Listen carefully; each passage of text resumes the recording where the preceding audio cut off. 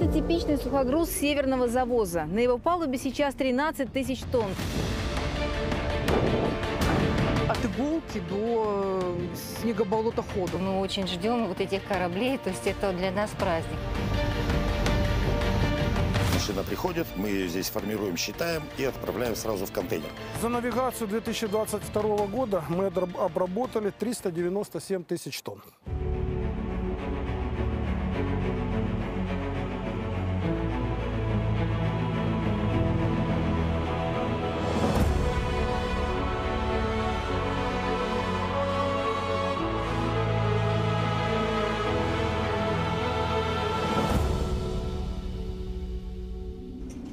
С вами идем по дороге жизни. Не той известной блокадной, ленинградской, а современной. В городах и поселках на побережье Северного Ледовитого океана в России проживает около трех миллионов человек. Все необходимое им доставляют по морю. Это называется северный завод. Ну вот примерно так. Самолетом не та вместимость, да и дорого. И вот представьте, что летом-то проблем нет, а зимой моря замерзают. Вам доставили все необходимое осенью. Продукты, вещи, медикаменты, топливо. И больше не привезут. До лета. Даже если очень надо. Поэтому северяне ждут продления навигационного периода Севморпути. Поэтому и называют его «Арктическая дорога жизни».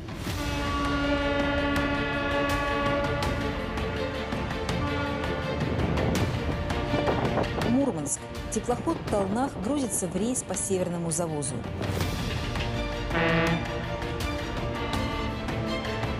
Способен преодолеть полутораметровый лед без ледоколов, имея почти тысячу контейнеров на борту. Сейчас осуществляется погрузка э, на крышки трюмов и в Твиндеке. Это оборудование, оборудование для шахт, запасные части, различные хозяйственные грузы.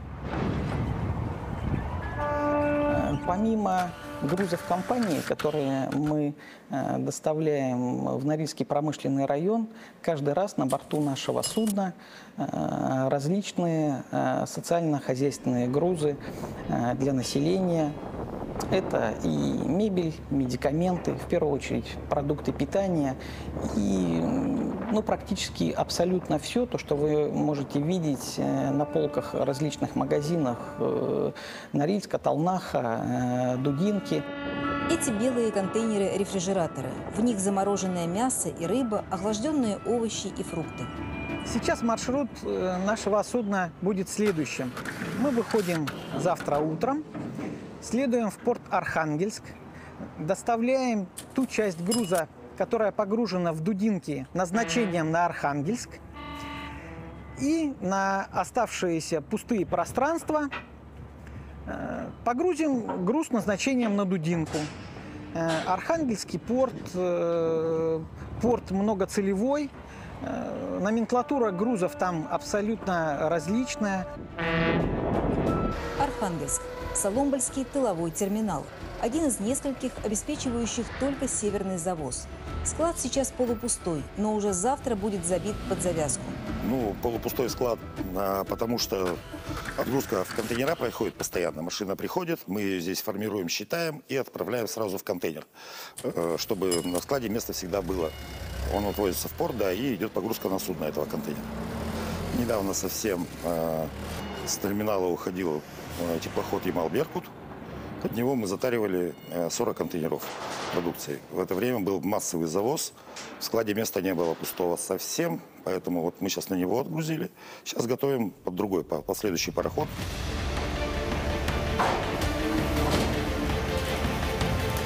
Здесь у нас вот вареники с мясом, а это пельмени. Здесь э, вареники с творогом, блинчики с мясом. Поэтому номенклатура такая разносторонняя, очень разносторонняя, чтобы люди там не страдали из-за из отсутствия, ну, из-за дефицита каких-то продуктов. И Чукотку, и Якутию обеспечивают продуктами преимущественно в летнюю навигацию. Добраться зимой до этих регионов даже под проводкой с ледоколом сложно.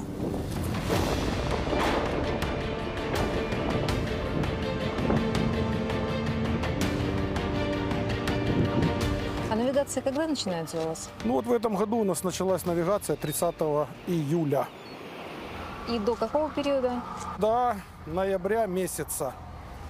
И сколько тонн груза вы можете вот так вот за год принять? Вот за навигацию 2022 года мы обработали 397 тысяч тонн. Из них 72 тысячи тонн угля. Это для теста? Для Чаунской ТЭС, да, для Чаунской ТЭС. В зимнее время года порт не останавливается. Идет отгрузка по зимнику э, генерального груза. Мы, вот, получается, технология такая. Мы выгружаем груз и складываем на территории порта.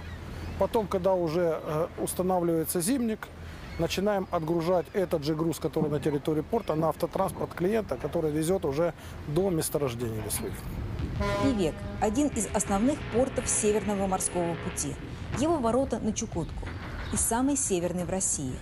Сейчас тут разгружается первое в эту навигацию судно северного завоза. Вот приходит навигация, у нас вот так вот очень-очень много появляется товара. Товар появляется по более низким ценам, чем мы заказываем, когда у нас приходит он с самолета. Вот даже если, к примеру, да, брать, если вот яйцо пришло у нас по 250 рублей, то с самолета буквально недавно и перед Пасхой оно было 680 за один десяток. То есть разница, конечно, очень ощутимая. Ну, по субсидии молоко 180, вот, а так в магазинах порядка 300 рублей с самолета. Но это еще, знаете, дело в том, что это тетрапаки, то есть это то молоко, которое э, на материке я бы даже на него не посмотрела. Мне всегда казалось, что это какое-то не молоко вообще стоит. Ну, вот. А сюда, конечно, из-за срока хранения везут только это молоко. Вот, и оно стоит вот, в магазинах по 300 рублей сейчас. А хлеб? Хлеб Около 100, 100. 100 рублей, да? На Чукотку не идет ни железная, ни автомобильная дорога. Внутри региона между городами и поселками зимники. Поэтому все необходимое для жизни – продукты, топливо, одежда, стройматериалы – доставляется с материка, как тут называют остальную страну, по воде, но только за короткий период летней навигации. Сейчас очень много у нас очень приезжих людей, те, которые не знакомы да, с северной жизнью. Они приходят в магазин, а как это так, а почему, а почему у вас товар, то есть как бы вот срок годности прошел, а он еще здесь. А мы привыкли кушать что творожок, который всего три дня и все, и уже кушать нельзя. Я говорю, ну, ребят, ну это север. Государство планирует завоз на Чукотку продуктов, но и жители сами заказывают себе необходимые грузы. Также через транспортную компанию.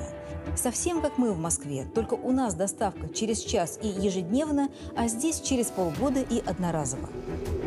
Пароходы иду, заказал там что, продуктов на зиму. Привезли, он привез домой, лежат там. Ну, в смысле, такие, которые не портятся. Тушенки там и прочие такие. А так, соки, молоко, вот это все, ну, долго же хранится. Я все заказываю сам себе. Ну, так не только я, э, там много же заказывают людей. Вот я с ними вместе там с. Приходит корабль. И вот и сейчас опять контейнер идет, там кое-что запчасти заказал, там. Ну, все равно подешевле получается. Мы очень ждем вот этих кораблей, то есть это для нас праздник. Когда они приходят, у нас э, салютируют, у нас прям салютами все покрывается, то есть как бы небо все в салютах. Ну, естественно, когда последний корабль уходит, мы тоже провожаем точно так же салютами. Но жители привыкли. Охотятся, собирают грибы и ягоды, а их в тундре только отойди от дома. Ловят рыбу. У каждого в квартире морозильный ларь, а то и не один. все старожилы, и сейчас надо заметить, и все приезжие, которые маломальски умеют там и не боятся воды, к примеру, да, то есть по- могут поставить сетку или если могут держать ружье, то есть стараются запастись. Если берут оленину, да, то это тушей. У всех стоят большие морозильные лари. Да, да, да. А вот рыбой тоже стараются запастись. Ну, дикоросами. Грибы. То есть суббота с воскресеньем город вымирает, если грибы есть Если в тундре. да, погода, значит да. все, все в тундре. Нам непривычно, но певекчане в таком укладе жизни видят плюсы. Тут точно нет импульсивного шопинга, привычки баловать себя именно покупками, перепотребления. Как-то не особо зацикливаюсь я, например, на том, что я ем. Вот что я Да, мы хочу же живем не сказать. для того, чтобы есть, в конце Да.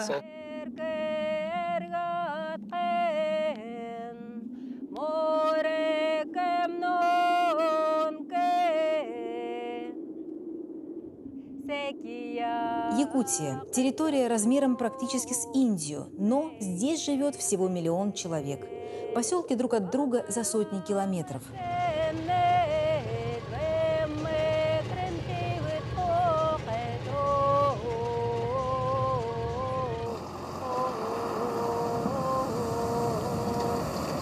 и летом не жарко, а зимой столбик термометра нередко опускается ниже минус 55 градусов.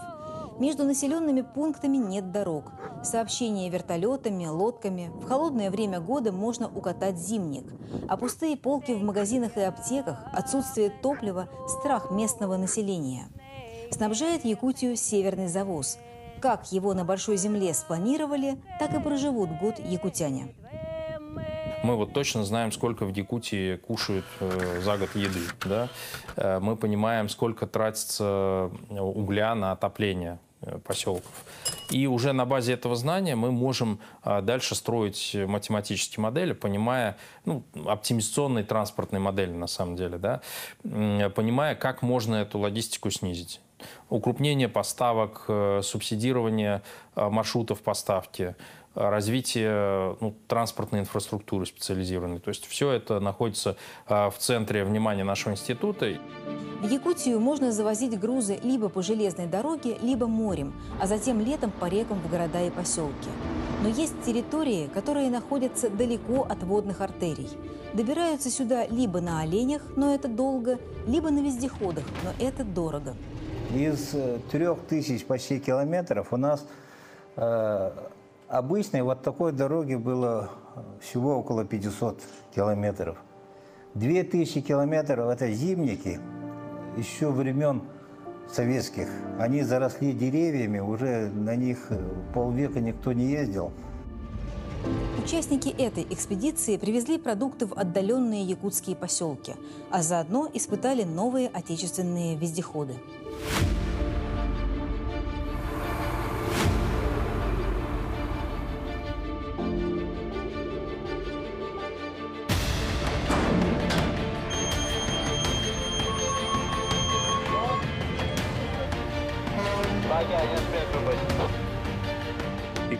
Приготовиться к отходу. Начали движение. Теплоход «Утренний» загружен строительной техникой. 36 новеньких КАМАЗов, тракторы, 80-тонный колесный кран. Ширина теплохода 30 метров, высота практически с 15-этажный дом, длина как два футбольных поля. На этом судне наша съемочная группа и отправляется в Дудинку. Впереди полторы тысячи морских миль или 2700 километров, нам так привычнее. Большая часть в арктических льдах.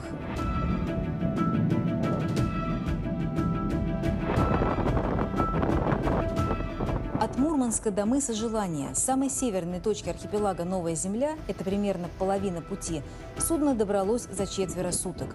Могло бы подойти на день раньше, но помешал шестибальный шторм. Бывает, ну, опять-таки, природа, э, шторма. Э, летом э, из-за плохой погоды мы можем где-то задержаться, штормоваться. Потом груз может быть э, палубный. Если мы э, попадем в большой шторм, э, он может получить повреждения. Поэтому стараемся как-то обходить э, циклоны. Зимой же ледовая обстановка сложная. Судно не просто пройти. Опять-таки, если идем с ледоколом, он может быть занят проводкой других судов, приходится подождать. Юрий Настека 40 лет ходит по морям и океанам. Из них четверть века капитаном. Рядовым матросом на этом же судне работает его сын Ярослав Настека. До 32 лет он отказывался выходить в море, работал в теплом офисе юристом. А потом неожиданно полюбил морскую романтику и арктическую природу. В детстве еще сопротивлялся этому, э, как сказать, семейному. Ну, да, семейная традиция. Не хотелось этого всего. Ну, а потом с возрастом все-таки отец переманил. Сказал, сходи один разок, попробуй, как оно будет. Понравится, останешься. Остался. До Дудинки мы шли больше двух недель. Северный завоз для арктических регионов – это одновременно и артерия жизни, по которой идут все необходимые ресурсы, и узкое горлышко, которое тормозит их развитие. В Норильск нужно приезжать для строительства здания или выполнения каких-то серьезных работ, привезя практически все с собой под ключ, начиная от стройматериалов, заканчивая персоналом в том числе. И если ты э, что-то не рассчитал, то по-быстрому где-то у кого-то переарендовать или э, взять э, нанять какую-то небольшую бригаду или получить специалиста на вот летний период практически невозможно, потому что еще в прошлом году э, все расписано. Несколько лет назад северный завоз на Чукотку чуть не сорвался. В портах загрузки приоритетно отправляли более выгодные коммерческие рейсы в другие регионы. Затем ударили ранние морозы, и суда, которые шли к Певеку без помощи ледоколов, застряли во льдах. Встали стройки. Запас продуктов удалось пополнить не весь. Что-то не успели провести, а что-то по дороге испортилось. В какой-то степени, ну, Северный завоз – это такая специальная операция. Вот. Она предполагает, э, что ну, в каждом регионе свои, скажем так, чудеса и свои сложности. Для Якутии это прежде всего такая разветвленная речная сеть, необходимость содержания такого значительного речного флота.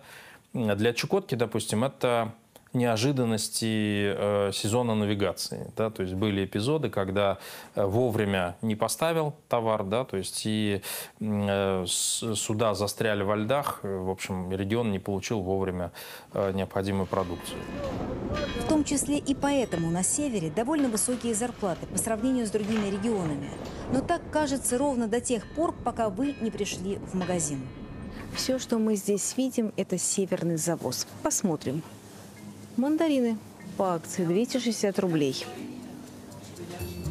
Яблоки 188 самые дешевые, 235, 245.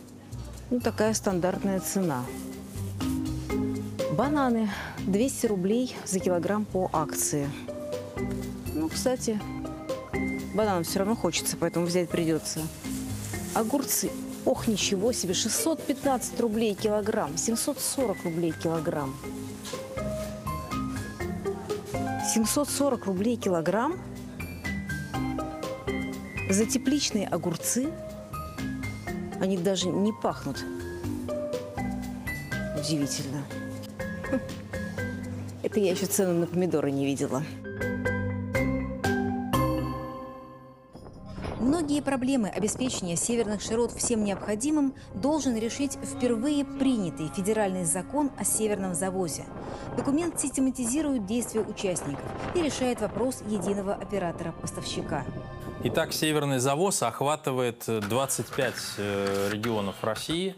Э, это порядка 13-14 миллионов квадратных километров и 3 миллиона человек. Конечно, необходима координация усилий большого количества участников. Да? Это бизнес, это э, э, региональные органы власти, для того, чтобы все получилось. Поэтому, конечно, э, для всех нужна единая платформа цифровая, да?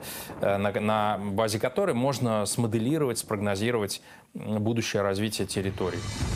Развитие Севморпути ускорит и удешевит доставку грузов. В законе предлагается определить опорную сеть, необходимую для бесперебойного снабжения северных территорий.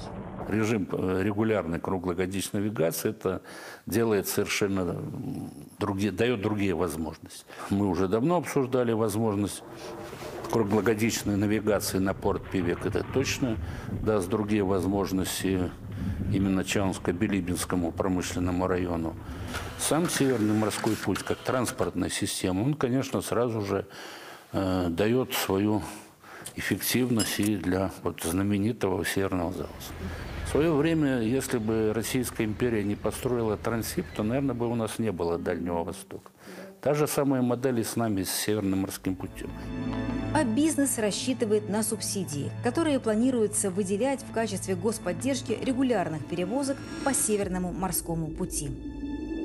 Это типичный сухогруз северного завоза. На его палубе сейчас 13 тысяч тонн. Контейнеры с вещами, промышленными товарами. Рядом спецтехника. Вот вы видите бетономешалки, бензовоз, чуть подальше автобусы. Идет он в Дудинку. Дудинка, как и соседний Норильск, полностью снабжаются по морю. А самолетам дорого, а автомобильной и железной дороги к ним нет. Однако и в Дудинку, и в Норильск, в отличие от Певека и Тихси, грузы можно возить круглый год. Бесперебойная навигация на этом участке Севморпути открылась именно для транспортировки полезных ископаемых.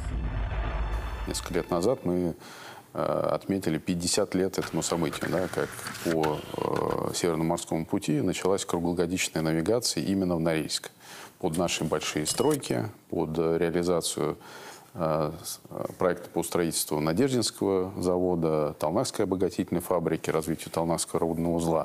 То есть это была большая стройка, которая была невозможна без того, чтобы Северный морской путь вышел на качественно иной уровень, то есть в круглогодичной навигации. Для нас Северный морской путь – это не только стратегическая трасса реализации нашей, нашей продукции, но и по Северному морскому пути приходят те грузы, которыми мы обеспечиваем поселки, города северные.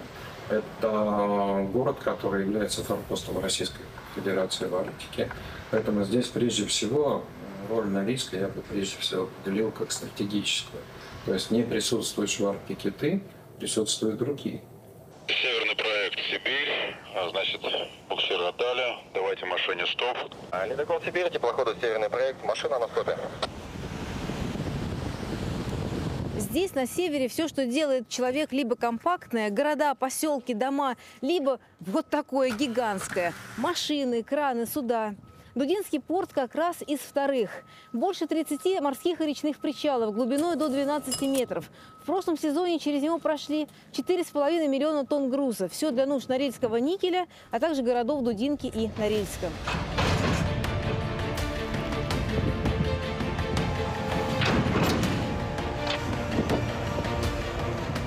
Выгружается контейнер.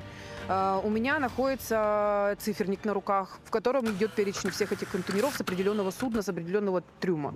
Я подхожу, фиксирую номер контейнера, фиксирую префикс, фиксирую пломбу обязательно. И осматриваю техсостояние контейнера, чтобы он не был поврежденный. Только после этого я подписываю определенным адресом, куда он идет, и его забирает автопогрузчик и ставит уже в определенный штабель. Э, Продукты питания, машины, вот сейчас даже там стоит вон, автобус стоит, то есть КАМАЗы, ну, от, кажется, от иголки до э, снегоболотохода. Вот. Все, что вы видите вокруг себя, на 98% в тот или иной момент времени прошло через руки наших рабочих. 98% грузов на территории прошли через порт. Оставшиеся 2% – это грузы, которые доставлены авиатранспортом. Ну, это, как правило, там лекарства, спецгрузы, парфюмерия, ну, либо очень срочные грузы, которые необходимы для тех или иных вещей. Все остальное только через порт. То есть каждый рабочий может сказать, что во всем вокруг есть частичка меня. Однозначно. И это правда будет, это не преувеличение. Чтобы ускорить прохождение Севморпути, трасса должна быть полностью безопасной. Мы работали как раз на острове Вайгач, обследовали береговые маяки, были с северо-восточной стороны острова Вайгач, услышали сигнал бедствия, что судно сел на мель, получается. Судно называлось «Капитан Воронин», и оказалось, что оно не, не только село на мель, но и наскочило на глубоководные камни. В результате, что получило пробоину, само сняться оно не могло, так как глубоко село на камень. На помощь прибыл еще один буксир, который тоже помогал э, в спасении людей. Экипаж был спасен, пострадавших не, нет, Из-за суровых погодных условий и льда Северный морской путь пока гидрографами изучен не до конца. В связи с тем, что лед является естественным препятствием для изучения, например, подводного рельефа дна, то изучен он в Арктике гораздо хуже, чем в других местах. И белые пятна на навигационных картах даже сейчас, особенно в восточном секторе, это, это ненормальное явление, но они присутствуют. Эффективный аварийно-спасательный флот, стабильная связь, современная портовая инфраструктура должны сделать Северный морской путь безопасным и удобным. Мы сможем не только круглый год обеспечивать Заполярье всем необходимым, но и конкурировать с одним из ключевых мировых маршрутов грузоперевозок. Однозначно нужно развивать Арктику, однозначно. Если не мы будем развивать, то кто-то будет вместо нас. Арктика такой регион очень богатый э, и нефтью, и газом. Платформы будут стоять там и в Карском море, везде, где э, необходимо. Будет э, развиваться в любом случае. Эксперты прогнозируют смело. Через 50 лет Арктика может стать не только одним из основных источников энергоресурсов, но и ключевым транспортным узлом планеты.